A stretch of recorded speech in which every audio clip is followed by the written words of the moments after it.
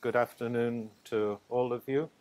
Uh, it's a great pleasure to be with you today and to have this opportunity to share some of my experiences from uh, my, my work uh, so far in fisheries uh, development.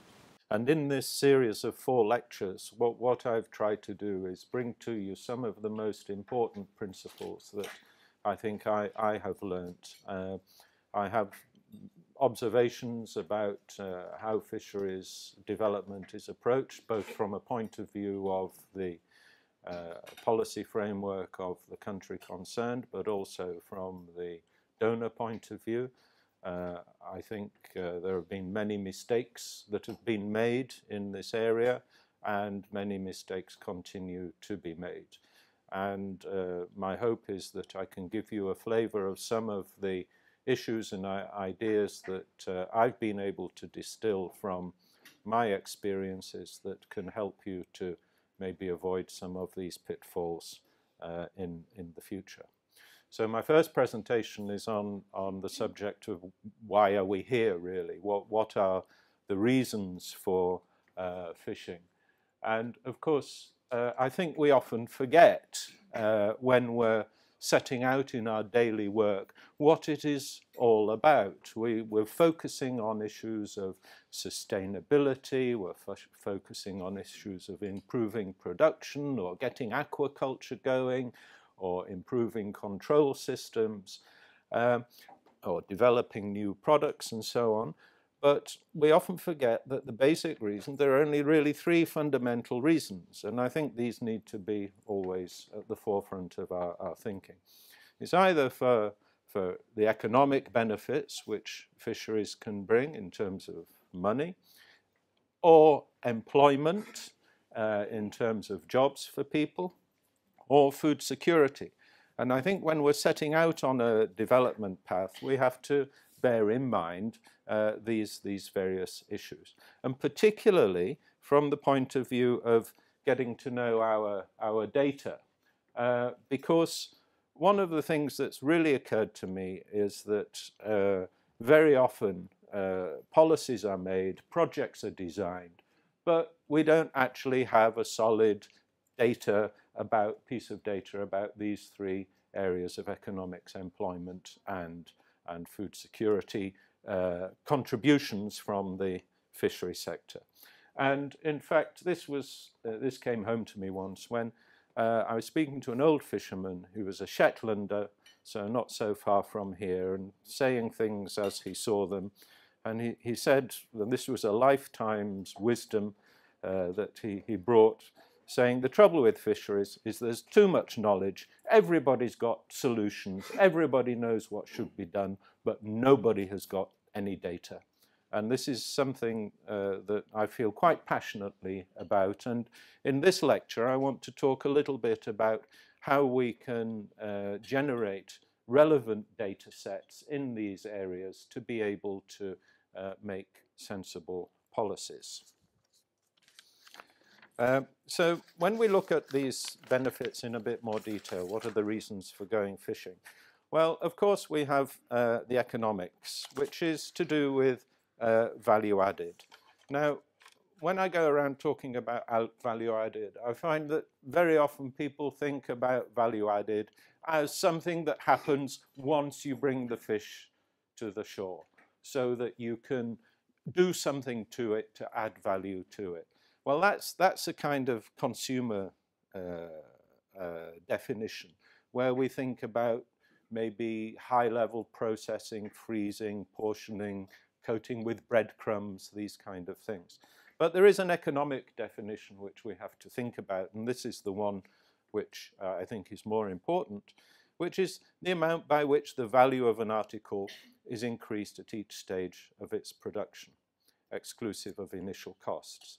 So we can actually use this approach uh, to, to understand better some of the uh, benefits of, of fishing.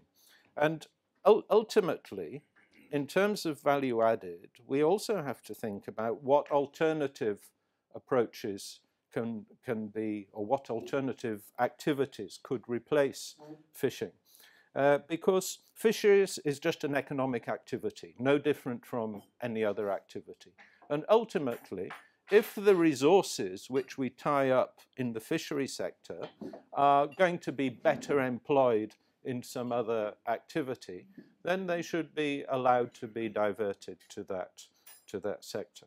And that's why when we think about fisheries from an economic point of view, we always need to consider what alternative activities may be available to the people who are engaged in, in fishing.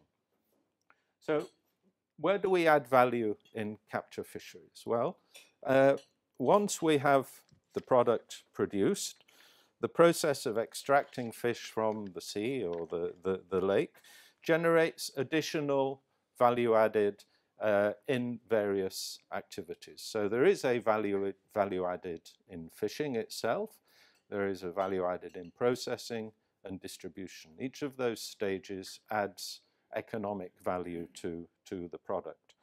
Um, and fishing as an activity generates both uh, upstream and downstream value added. So we can have uh, processes which provide inputs to the fisheries, uh, such as uh, fuel and food for the crew and shipbuilding, all of which gain value from that fishing activity. Uh, these are indirect uh, value added inputs.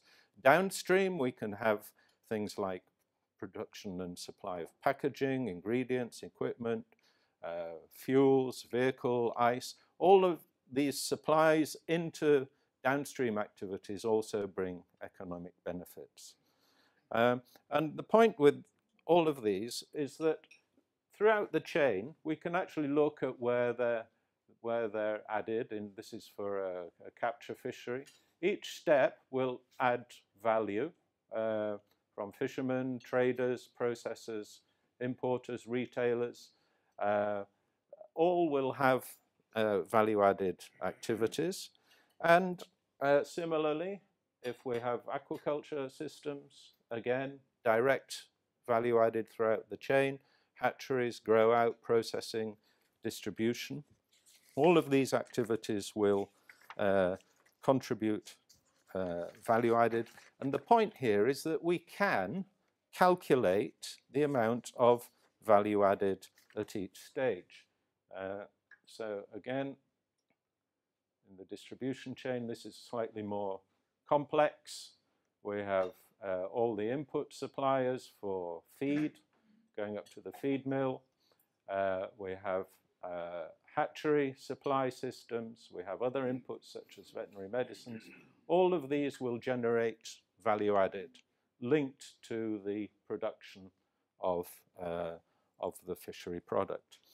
So the principle here is that at each stage we can actually calculate the value added at each of, in each of these uh, levels of the distribution. And there are various techniques that uh, economists can use for, for this. Uh, estimation of value added is simply a sum of uh, profits, labor, and taxes. Um, so profits we can calculate simply by looking at an enterprise and uh, deducting the costs from the revenues. Uh, labor is calculated by wages and social security payments, uh, taxes as uh, various taxes and charges by government for license fees and so on. And we can calculate these through gathering data from fisheries enterprises. We can actually go out and interview them and look at their financial affairs, and we can calculate the, uh, the, the, the, the amount of value added based on either an individual fisheries operator, or we can add groups of operators together and calculate for a group. We can work on the basis of a region, so look at the fisheries activity in a region and, uh, and, and aggregate value added there, or by different activities, by processing or aquaculture or input supplies.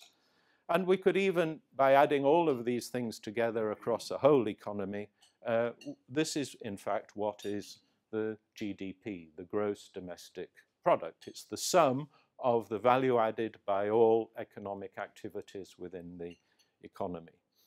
One of the things we really need to know if we're going to make any sensible decisions about how to address fisheries development is what is the contribution uh, in terms of value added of different fisheries activities.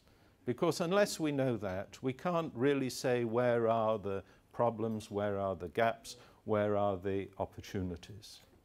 And uh, this is why uh, I think the first message for you is, is that uh, calculating value added is a very important uh, step to, to take in the design of any intervention activity which one is going to uh, implement for fisheries development.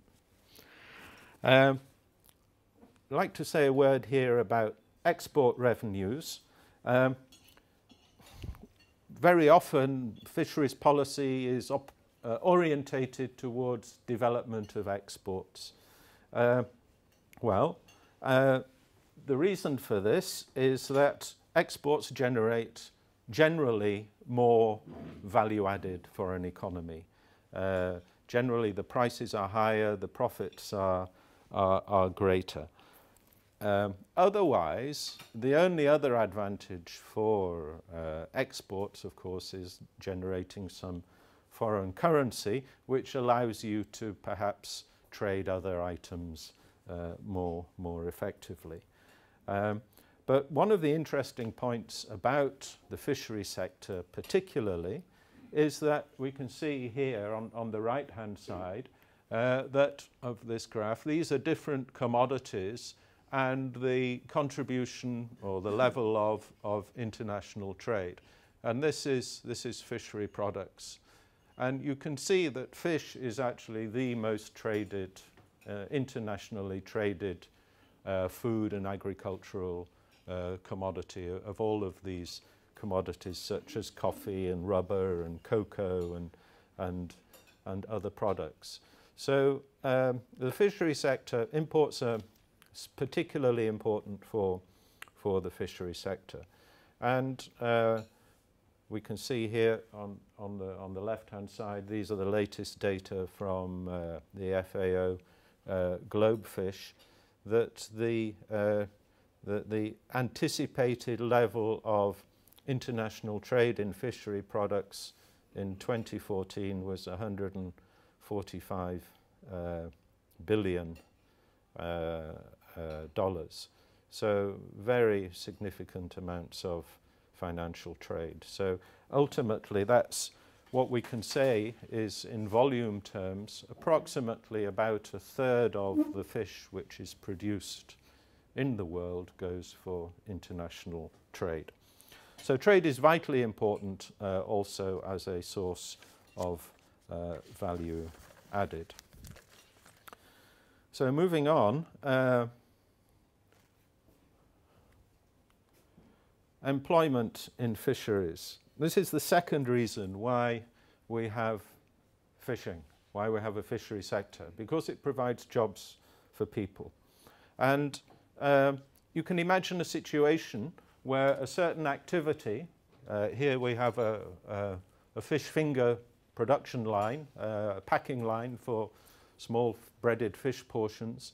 You can imagine an activity which generates a certain amount of value added, but which may not have that many jobs attached to it.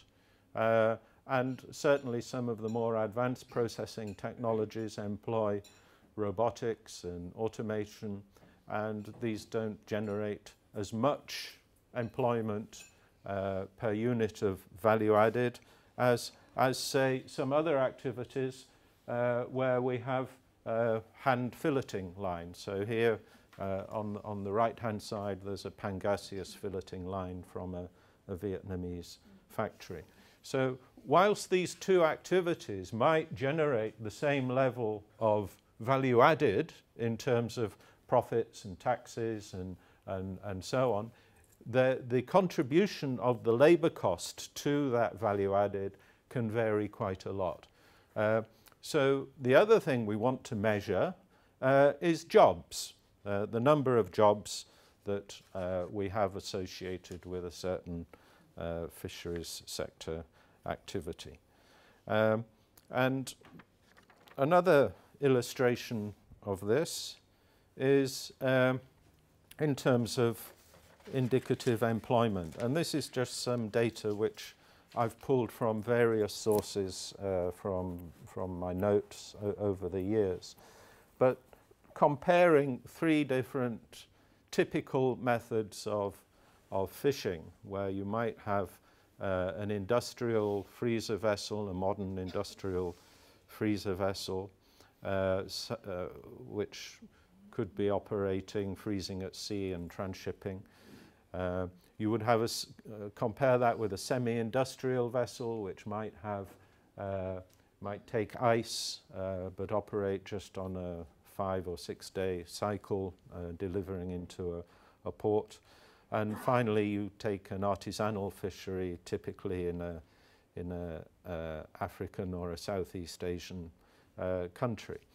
And, and you can compare the, the catch rates and the number of jobs uh, associated with, uh, with each uh, unit of production. So uh, you end up with, a, uh, in, if you do a crude calculation of the number of jobs per uh, thousand tons of annual production, you can see that certain fishing activities generate vastly more employment than, than others. So uh, if you're looking from a policy point of view, you can say, well, we have so much resource, so many fishing opportunities annually in terms of a total allowable catch. Well, how are we going to divide that up between uh, industrial fisheries, uh, semi-industrial or artisanal fisheries? Because from a, from a social impacts point of view, of course, you're going to get a lot more out of your resource in terms of uh, uh, incomes, uh, family incomes, sustain sustainable jobs uh, from an artisanal fishery than you are from a, uh, uh, an industrial fishery.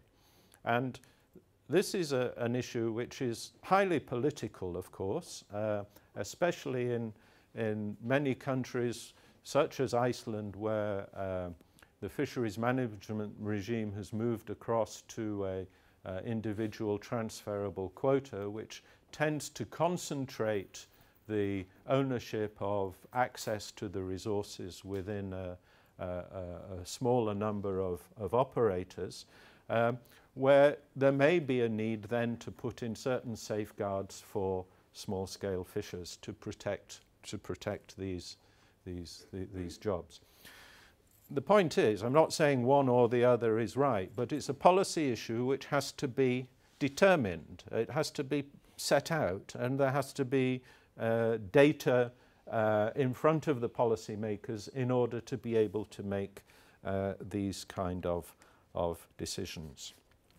And I think the other point I'd like to make here is that very often, uh, many, many countries, the artisanal fisheries, uh, many, many developing countries, the artisanal fisheries are essentially open access fisheries. So one can enter the fishery without any kind of limitation in terms of uh, having to apply for a quota or a license which is uh, somehow capped in terms of fishing effort.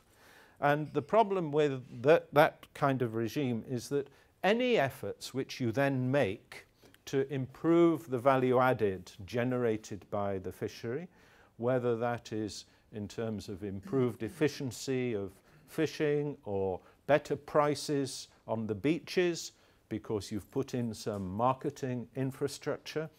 All of those things which might add value at some point are essentially uh, uh, dissolved or defrayed into additional entrants into the fishery. So you might get a few more uh, people coming into the fishery, all of that value added is consumed by generating more jobs rather than possibly making the jobs that exist into uh, more sustainable or uh, profitable uh, activities. There are links also uh, to international trade in terms of jobs as well. Uh, this is a table which came out of a, a piece of research done by uh, the FAO a, a, few years ago. Um, there are clear links between trade and employment, uh, and we can see it in some of the countries which are in this table. So if we look at countries like Cape Verde, which has a very uh, significant level of fish trade uh, as a percentage of all its agricultural exports, uh, also has high levels of, of employment in, in fisheries. Uh, it's also the case in countries such as uh, Ghana.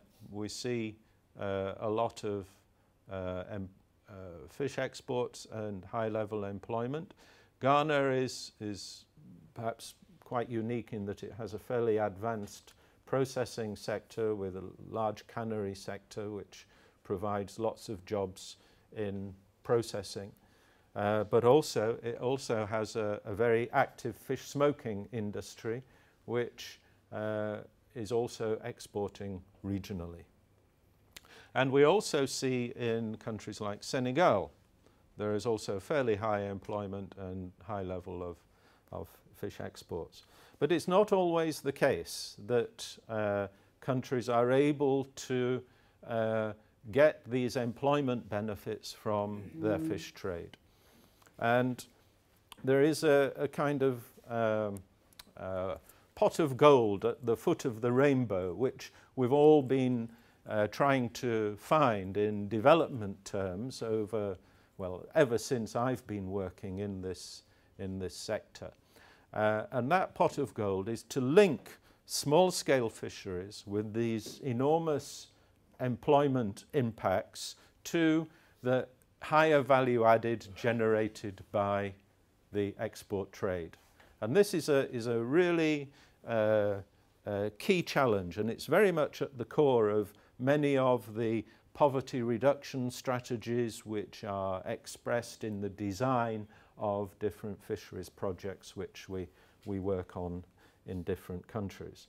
But it's very, very difficult to achieve. One of the reasons why is because of the barriers in terms of meeting international standards for hygiene and product safety and, uh, and, and so on.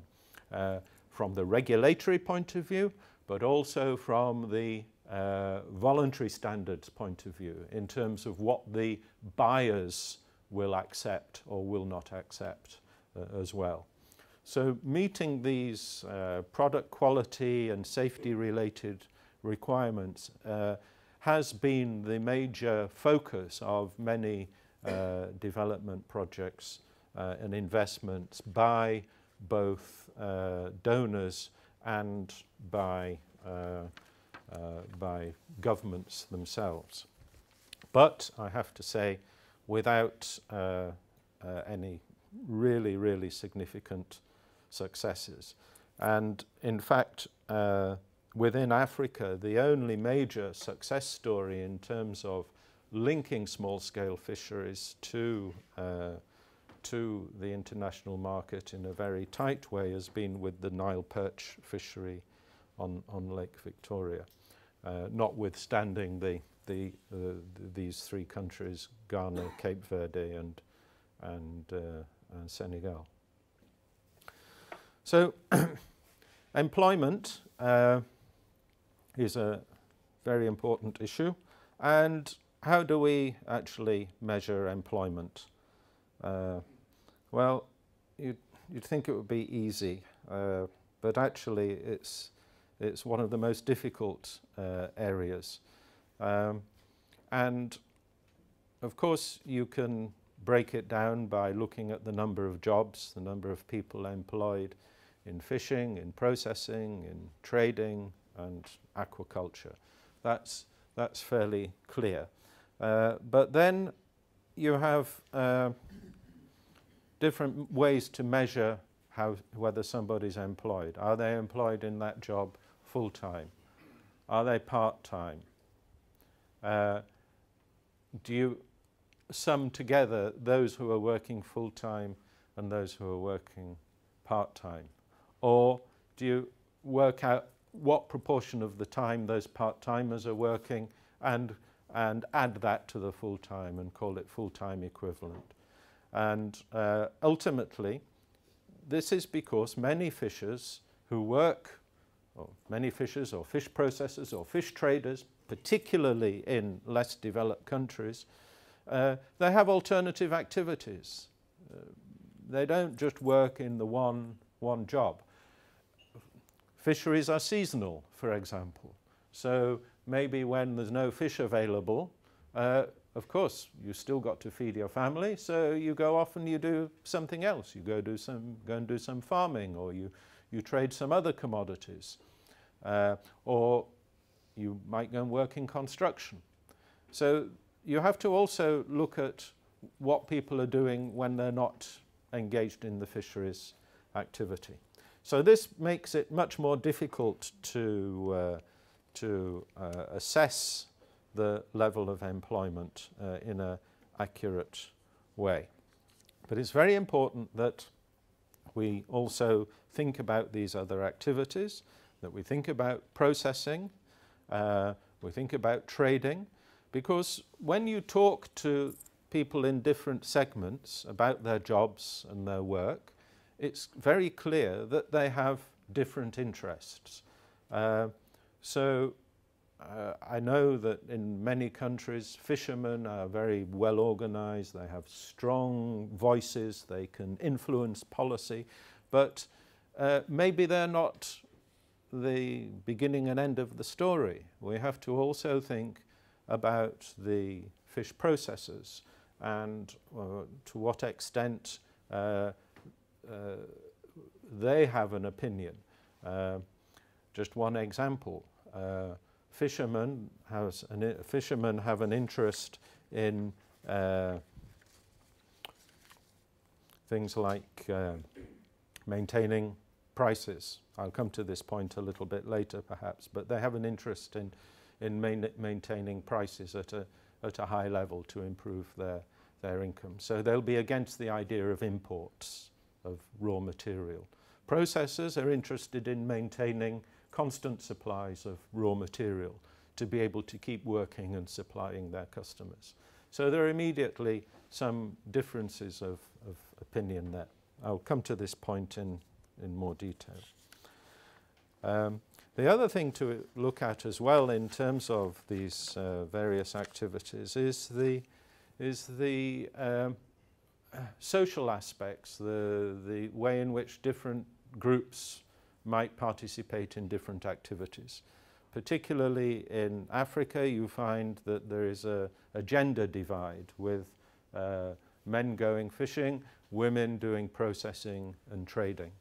And uh, so there are very significant gender issues which need to be taken into account in the, uh, in the way in which uh, jobs are developed and protected and sustained.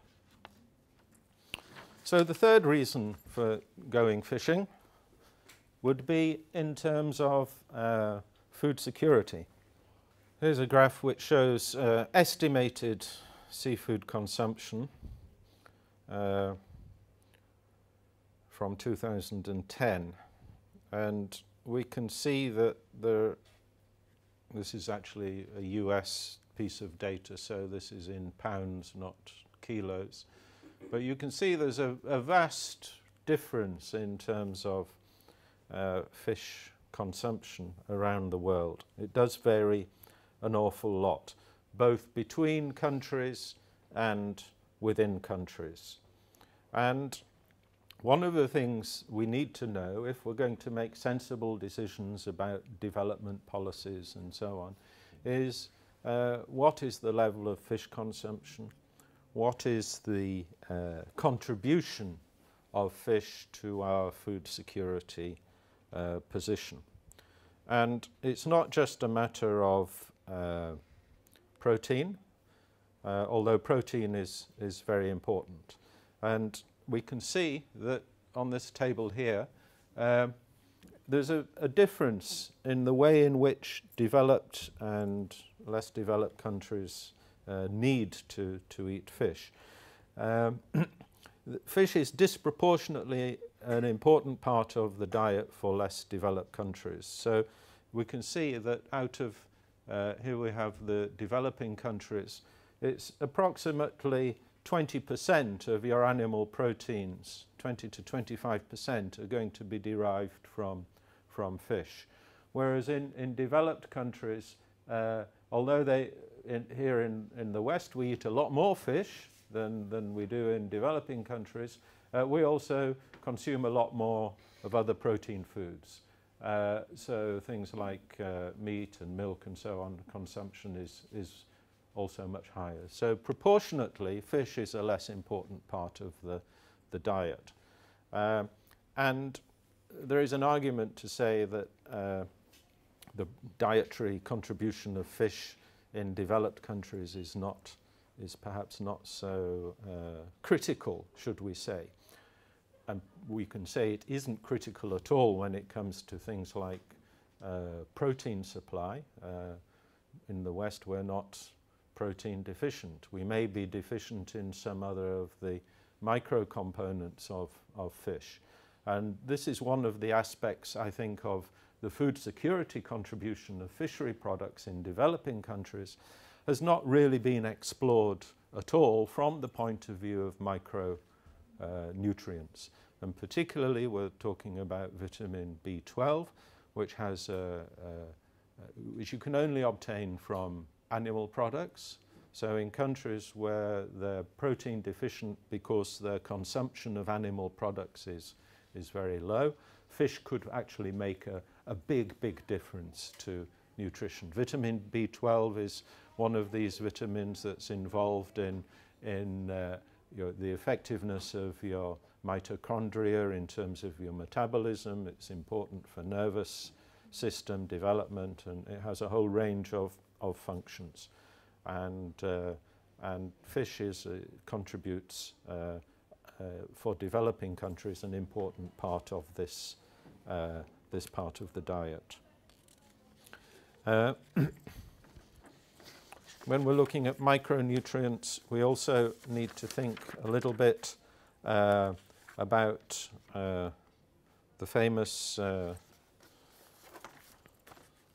polyunsaturated fatty acids because these are also uh, uh, substances which are essential nutrients for uh, development of the nervous system, particularly uh, two, two of them. There's a omega-3 fatty acid and an omega-6 fatty acid, uh, which are only available from uh, uh, basically fish sources. You can get them by eating nervous tissue of mammals. If so, if you eat sheep's brains or something, you'd get a good, you'd get a good supply as well. Uh, but uh, apart from those sources, uh, you wouldn't necessarily get them elsewhere. Uh, some omega-3s are available from plants, and, and these, these two can be or EPA can be uh, fabricated within the body uh, to a certain extent, but its, its level, the levels are much lower. But the point is that fish is a very, very rich source of, of these nutrients. So you can see that if we take uh, herrings and uh, mackerels, the oily fishes, tunas, uh, they have very high levels of omega-3s, which are all uh, mostly these, the, these two essentials. So comparing it to other, other products, well, of course, some uh, plant products might have higher levels, but they're not necessarily the right kind of uh, omega-3. Uh, so many countries rely on uh, fishery products for these essential uh, polyunsaturated fatty acids as well. When it comes to food security interests and trade policy, this is the point I, I, I mentioned earlier, that different, different operators along the supply chain will have different interests in, uh, in terms of their uh, approach to some of these issues. So that when we look at uh, fishers, for example, their interest is in maximizing revenues uh, by increasing either volumes or getting better prices. It doesn't really matter too much to them. As long as for the same amount of inputs they get, they get more money, then the fisherman is, is going to be happy with that. Um, a proce processor, however, has different interests. Yes, they're interested in getting the, the fish from the fisherman, but in a seasonal fishery or where resources might be overexploited uh, and catches and supplies of raw material for processors mm -hmm. are going down, then we might find that uh, the processors are very interested in imports. And certainly when we look at the supply deficit, as it were, uh, as we see growing populations uh, in many developing countries with fixed or declining supplies from capture fisheries and uh, aquaculture not performing as well as it should be, what's happening is we're seeing massive increases in, in imports of fish. And this is the case in Nigeria, which is historically one of the world's greatest fish importers. Egypt also historically one of the, the great fish importers. Both of those countries importing lots of small pelagic fish from this region, from Icelandic and Norwegian operators, uh, Dutch operators, Mauritania, uh, sardines, herring, mackerel are being imported in quite enormous quantities, hundreds of thousands of tons entering West African markets. Uh, now this is in the interests of uh, both consumers because they maintain their access to cheap fish which satisfies their nutritional needs at reasonable cost, but also it satisfies the interests of, uh, of processors.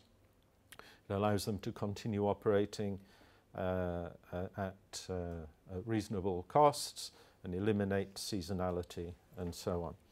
And that's why it's important when it comes to how one formulates uh, a policy, uh, the dialogue which uh, one goes through to generate that policy has to be inclusive. And it has to recognize that not everybody in the fisheries sector has the same interests, that sometimes there are conflicting interests within the sector that need to be managed and resolved. Because if they're not, you may end up with some dysfunction. And we have a, an example which came up uh, last year which was uh, in Nigeria. Um, and the Nigerian government, in its wisdom, uh, last year introduced a regime of import quotas. It means to try and gradually, over a period of time, restrict imports of fishery products. now, this is something that uh, uh, rightly or wrongly, has been decided uh, as a means to try to stimulate aquaculture production. And you, you, you, it's clear that the aquaculture producers in Nigeria have complained to the policy makers, complained to their minister about uh, cheap imports of, of fish, which undermines their, their business model. And so the, this has been the policy response. But one of the things that perhaps needs to be more considered, what's going to happen to the fish processors in, in countries like Nigeria, who are relying on those imports of raw materials to be able to uh, continue processing. What's going to happen to the consumers who are used to having locally smoked but imported frozen herring from Norway as part of their, their regular diet. And uh, I think it illustrates the, the dangers of maybe making policies just based on one pressure group uh, or, or another without taking uh, account of perhaps a broader and more inclusive uh, approach.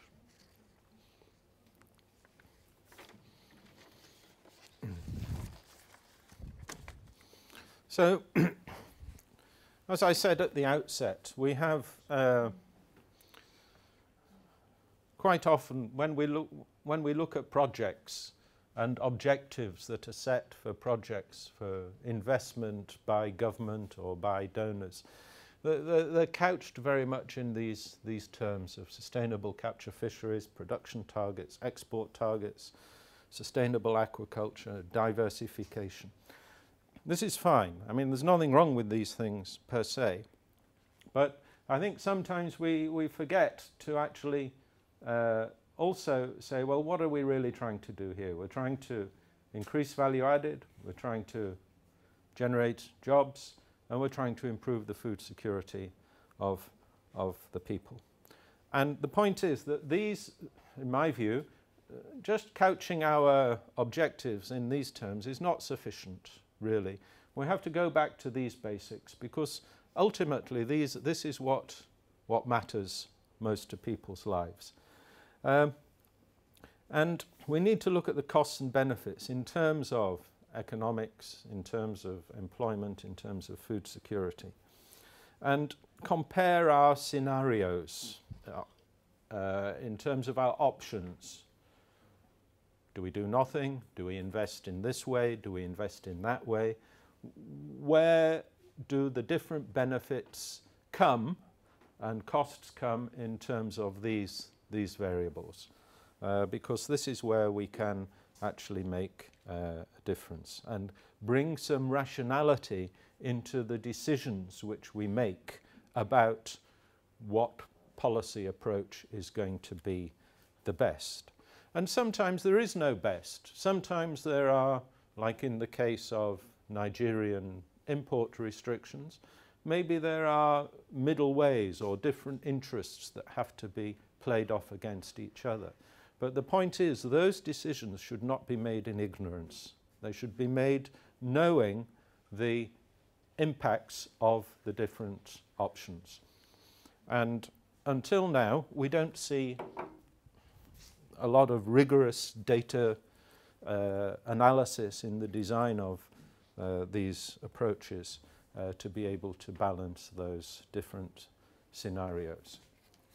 And the, the consequence of that is that we end up with policies being made on the basis very often of what is politically acceptable to the political regime of the day, depending on their colour. So it's what is politically expedient what is administratively convenient or possible within our, within our regime, uh, rather than thinking about you know, what is the, the best way to move ahead here and how do we put in place the mechanisms which we need to bring about that, that change. And that brings us on to the subject of the policy instruments. So even if we decide that there is an opportunity to get better value added or improve the food security of our consumers uh, by these means. Uh, how do we actually go about that? And there's a need to use the full range of policy instruments available. Uh, and of course, we have different ways of doing things. Uh, essentially, uh, we have a carrot and stick approach uh, you can either force people to do something under a pain of a penalty, of being punished in some way, or you can give them some incentive, some benefit for behaving in the way that you want them to do.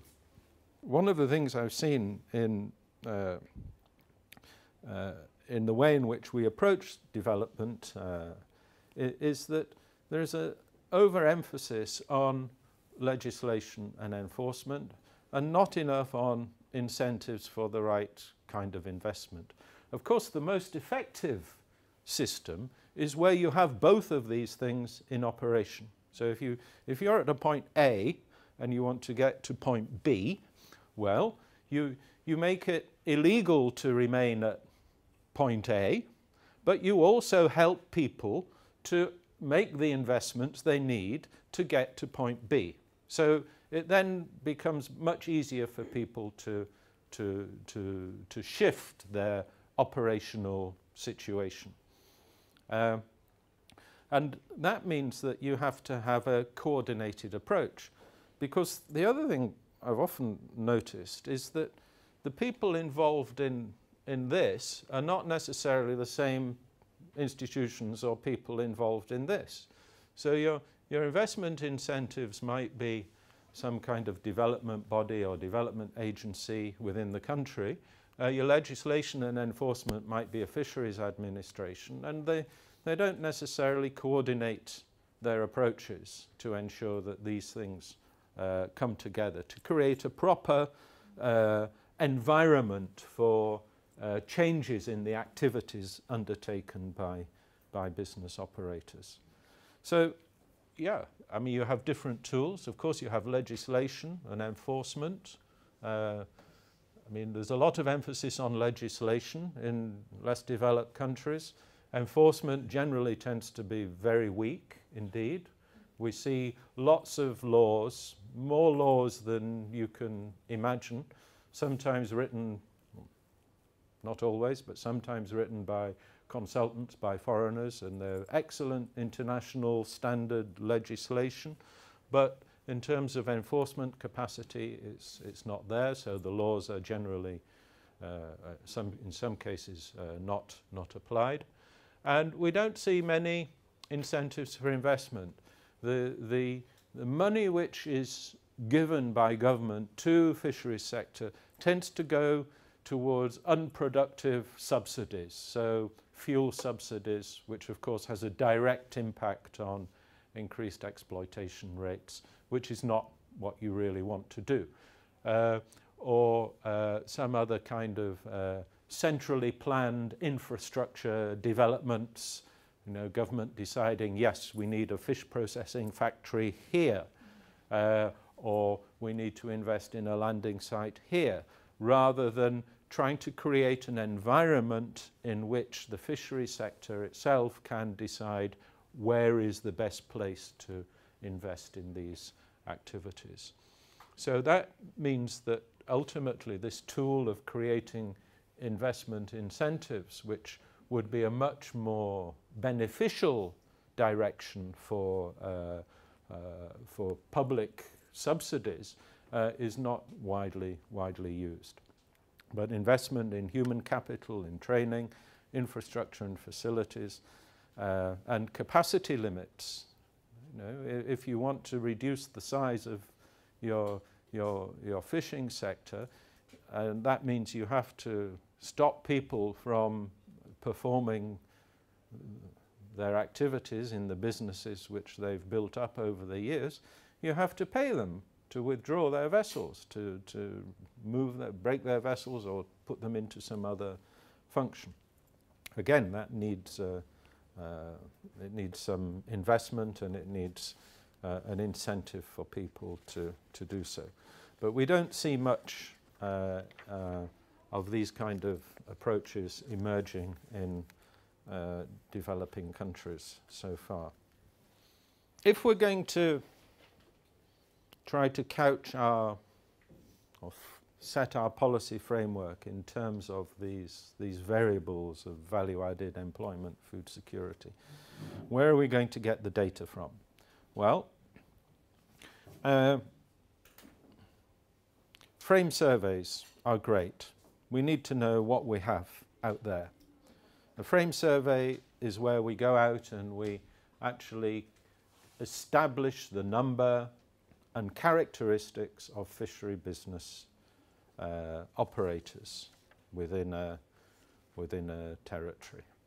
Um, but it's important that those frame surveys are inclusive because, as I've said, it's not just about fishing. A frame survey should not just be about looking at canoes and boats and fishermen. It should also be about looking at processing, looking at distributors, looking at markets. These are sometimes they're completely ignored in frame surveys. Uh, we've had this situation with the project uh, I'm working on at the moment in, in Ghana, in that uh, uh four years ago a frame survey was, was done in the marine sector, spent an awful lot of money, and we came up with great data about the numbers of canoes and the numbers of fishermen, regionally disaggregated, and we still don't know how many smokers, how many processing kilns, how many people are working in those same villages where our enumerators were gathering data. And what a, what a waste of an opportunity to, to actually catch that information, valuable information, which you can use for policy making. So make sure your frame surveys are inclusive of all fisheries activities, including aquaculture. and then the frame survey is not enough on its own.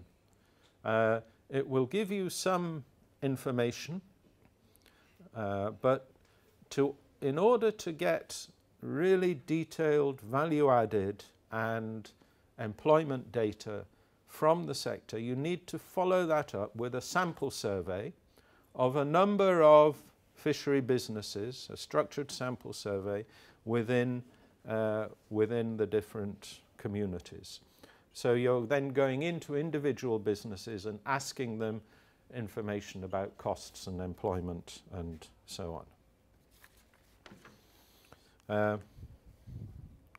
so, yeah. So frame survey, okay, I won't, I won't go through this in too much detail, but this is just a list of some of the, the uh, the kind of data one would try to collect within a frame survey, fisheries sector frame survey. We'd look at things like uh, the uh, characteristics of the community, uh, numbers and characteristics of vessels and fishing gears, numbers and characteristics of fish processing, marketing facilities. Uh, then number of fishery business operators. You see, we have to distinguish the fishery business operator, which is the owner of the business, from the people who are employee, employees of fishery businesses, because they have different interests again. So we need to know who are the owners of the canoes and who are the crews, or relative numbers of, of each. The same with processing. Not everybody who is a fish processor has their own business. Uh, some fish processors will employ other people to do their, to do their work. And also don't forget the importance of knowing something about the uh, organization of the sector. Are there associations? Uh, are there cooperatives? These kind of bodies. Vitally important because ultimately this work is going to lead into some uh, policy initiative which will require you to talk to the sector. Well, how do you talk to the sector? The only way you can do it is through having a fisheries sector organisation and apex bodies. Uh, so one of the things that uh, very often we, we would like to see uh, to be able to have a dialogue with a, with a sector is, well, who represents fish processors? Who represents fish traders?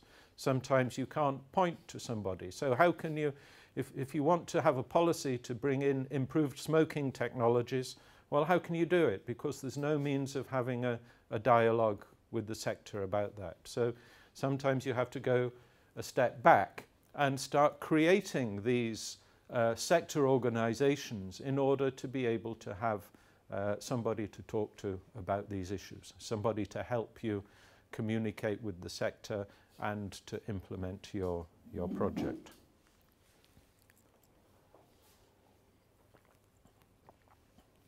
So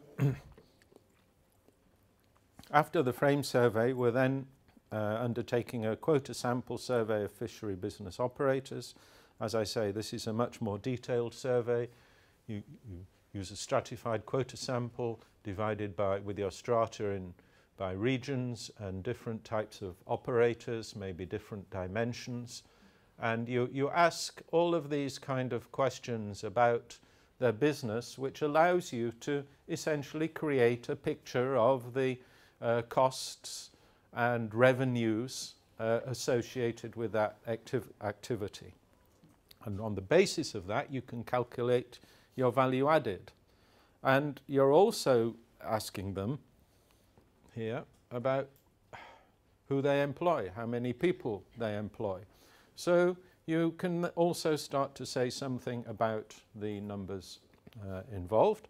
And because it's a stratified quota sample, you can then raise this data to the level of the sector as determined by your frame survey and come up with an estimate for uh, what the level of activity in different regions is, uh, disaggregated by uh, dimensions of business or, or, or, whatever. So this approach gives you a very useful and powerful set of data.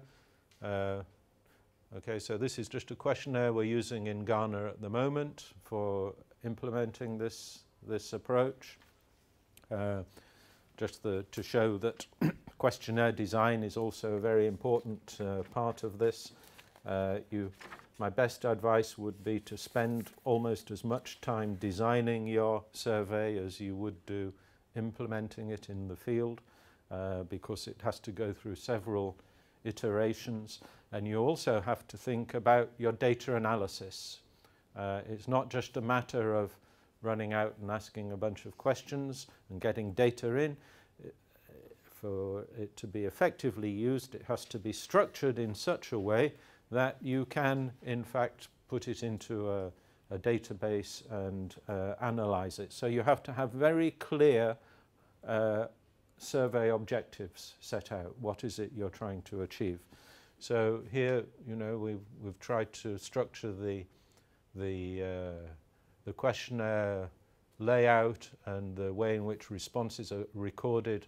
So this facilitates uh, coding and entering into a database, which you can then set up uh, using a statistical package.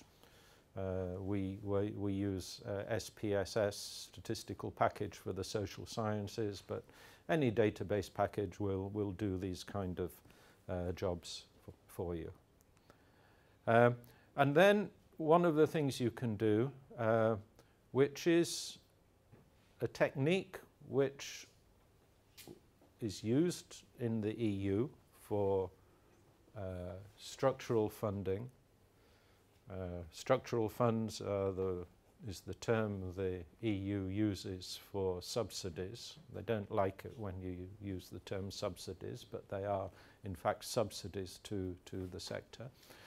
And for the first time in 1999, I think, the EU used a regional approach trying to analyze fisheries dependency in different areas of the EU in order to, to determine what level of funding should be allocated to uh, uh, various investments under the EU fisheries structural funds. Because what they, the EU approach is to say, well, if you're investing, say, 100,000 uh, in an approved activity, in, in a relevant activity, say aquaculture, you would qualify for a grant for 50% or 60% of the, of, of the capital. And that amount was determined by the level of fisheries dependency. And this approach is very much appropriate for fisheries development because one of the things it allows you to do, as in this case, is know exactly where your regions of high dependency are. So here we had data from the frame survey, which was on numbers of fishermen, and we just simply compared it with data from the census in terms of numbers employed, and we could come up with a uh, map of coastal regions where we actually knew the percentage of jobs in fishing, percentage of all jobs in that region, in that municipality or in that district which were uh, due to fishing. And so if you take places like Accra, the capital city, of course there are a thousand fishermen there, but it's a massive city of you know, several million people. So relatively, fishing dependency is, is very low. And nominally, of course it's not always the case, and you can't assume this, but nominally you could say, well, if those people weren't fishing, they could get jobs in other, in other sectors. It's not always the case because sometimes there are ethnic and social and religious and cultural barriers to moving from one from fisheries to another activity, which you have to be aware of. But nominally, one, uh, from an economic point of view, uh, people could engage there. So very useful policy tool there to, to help guide this donor-funded investment. And uh, this approach, this is the first time, in my, to my knowledge, that this is, approach has been used anywhere in, in Africa. And we need to see more of it. We really do, because, you know, otherwise people make decisions just on politics mainly. And I'm not saying these decisions ultimately uh, are not going to be influenced by politics. They are. And uh, clearly there are going to be political overrides to what the data tells you. But at least in that situation, it makes politicians think clearly and come up with rational justifications for the decisions that they make. So, yeah. So th this illustrates the importance of, you must not omit the spatial element of the data. You have to catch where the, where the business operator is and define it in terms of uh, their coordinates, essentially. And this is where having a little GPS system to, to catch that information is great. And you can combine it with GIS mapping programs and come up with these kind of approaches.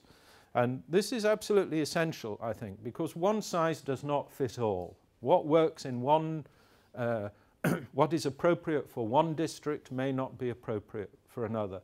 And by characterizing our data spatially, we can uh, start uh, making some various, uh, various uh, sensible decisions.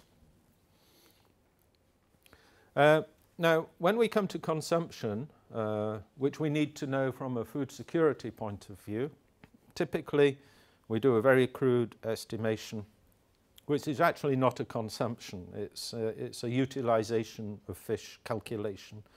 And we work out uh, production, which is capture fisheries plus aquaculture, and add imports, so we get total supplies, we deduct exports, and we end up with an idea of what, what, is, uh, what is consumed. But it is only an idea because it ignores undeclared production. You know, most countries, our production data is only estimates anyhow. Uh, it, it includes, uh, it does not include non-food uses, so fish may be used for uh, animal feed or for bait. Uh, spectacularly, it ignores yields uh, in that exports are often uh, FOB uh, quantities and values uh, and free on board of processed product to finished product, which of course, you know, in some cases, if you take a canned tuna, it's, it's widely different to the volume of raw material because of the difference in, uh, in production yields. Um, and also, we of course, doing it on a country basis, uh, it omits variations within the population. And if you're thinking about food security, you need to know who is at risk from various uh, uh, food security uh, deficiencies. And these are often related to uh, regions spatial issues. age, social class, religion, uh, preferences, seasonality, all of these things need to be understood in a more uh, a coherent way. so uh, it means that you have to do a consumer survey of fish consumption. And the only way to do this is to get out there and start interviewing consumers. And again, quota sampling according to region, age, sex, etc. Um, usually focused on people responsible for purchasing the food um, and asking questions such as frequency of consumption of fish at home, outside the home, in, uh, and inside the home, quantities and, and types of species uh, consumed. So you actually get uh, an idea of actual quantities uh, consumed. Okay, it's a bit small this, but this is the kind of questionnaire. But there are three basic questions you, you need to ask here. How many times per week or per period do you buy fish? How much fish do you buy each time? And uh, what, uh, what are the types? And then ask something about the family composition so you know how many people are eating that, that fish. And with that data, you can then start to provide some important uh, information about nutritional aspects. Uh, yeah, okay, so this is just the results. This was a survey we did in the Azores Islands where we were measuring fish consumption and just allows you to come up with a, a breakdown by different types of fish, fresh, frozen, whole, canned fish, processed fish, etc., um, disaggregated by, uh, by the island. So once we get to the point where we have a uh, good data set, once we know something about the value added, once we know something about employment, once we know something about food security, um, we can start to design interventions.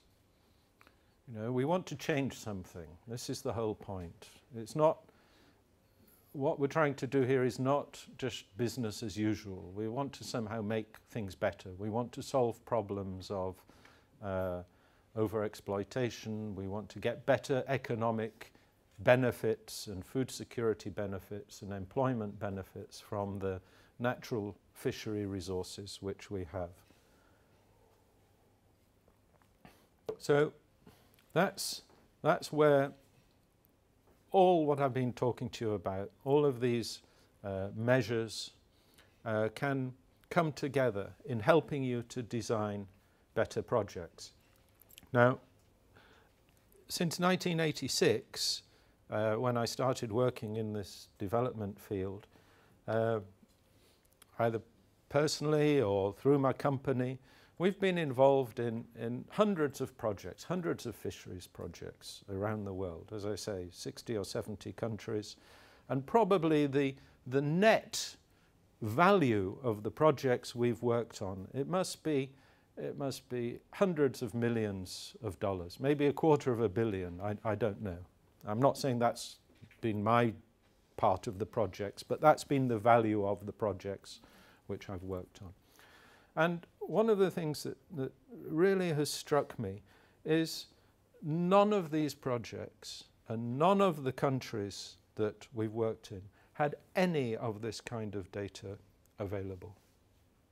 You know? And we're spending all of this money, all of this money, without really knowing why, where we're going, what it's all for. And I don't think it's any secret that, you know, this is why many of these projects fail to actually uh, do anything. And as I say, I've worked in some countries where we've been, I've done the same project four times. You know, never mind the issues with the institutional memory of the, of the government, because the government changes, they have revolutions, you know, one set of civil servants gets kicked out, another new lot comes in, donor task managers change, You know, they don't have the record keeping um, proper evaluations of their projects, and people come and make the same mistakes. And if we had an approach where these kind of uh, approaches to having better data uh, were uh, underpinned every single decision that we make from a policy and an intervention point of view, I think I think would be in a much uh, a much better position than the one we are at, at, at the moment. And this this approach uh, feeds in because it helps you to design better projects. This is this is a uh, logical framework approach. I don't know if any of you have used this as a project management tool, but it's a, it's a tool which we use uh, very much in, in development projects to be able to set out in one table uh, where we're going with the project. And the idea is to, on, on the left-hand side here, you have your overall goal, which is a kind of societal, global level. It's reduce poverty or whatever your overall development goal is. Then you have a specific uh, purpose or outcome, which is what you want the project to achieve. Uh, and then you have the results of the project, which are the specific outputs, which uh, uh, uh, derive from the various activities. okay, we've, yeah, and then you have activities set out down here. And you have assumptions, Assumptions are the things that allow you to move from activities to results to objectives. What would stop you from doing that? Maybe political will or maybe uh, uh, maintaining uh, appropriate sources of finance for investment, all those kind of things would be assumptions, but things external to the project. And then importantly, you have your indicators and your means of verification. And this is where all of the things that I've been talking to you can also come in very strongly because if we have data on what the baseline is in terms of value added, in terms of the uh, uh, employment and so on, we can set very clear indicators to allow us to know whether or not our project is, is achieving uh, what it set out to do. So this is one of the tools which we we can use. Uh, and it allows us to establish uh, smart objectives, as I say. So we can have measurable objectives. Uh, so when we're setting our objectives, we need to make sure they're specific, that there's a very clear target. Having good data will help us to do that. They should be measurable, of course. Metrics of your project is essential. They should be achievable. Of course, they have to be uh, they have to be potentially reachable, realistic. What can be achieved with the resources you have available, and time related. So these are our smart objectives. But this measurable issue is is vitally important because uh, it, having data allows us to to do that. So, just to conclude. I think when I was talking to Tumi earlier uh, about the philosophy of the program that you're on, uh, it's uh, very much down to all of you in the future when you uh, leave this program and return to your, your home countries. Uh, you have a job to do, which is somehow to try to make things better than, than uh, they are at, at the beginning. And, and I think one of the key aspects to that process of change, of being a, an effective change agent, and that's all we are as consultants or officials uh, uh, working in uh, government or research or even in private sector. We're trying to change things for the better. And one of the key points I want you to take away is that um, we have to think very clearly about the quantitative aspects uh, and identifying the strategic benefits which you're aiming for, whether they're economic, employment, food security. Um, and invest time and money at the beginning in getting reliable data. Like I say, I've worked on so many projects which we've been hampered by not really knowing anything about what we're supposed to be achieving. And spending a small percentage of your total project budget and a bit of time at the beginning to get this information pays enormous dividends in terms of the quality of the investments and the decisions which you're making. And there is a very clear set of steps to go through. Start with an inclusive frame survey. Uh, make sure that you uh, cover all relevant activities uh, and supply chains. Uh, undertake some detailed sampling surveys to get the detailed data on costs and earnings and employment. Uh, invest in a consumption survey.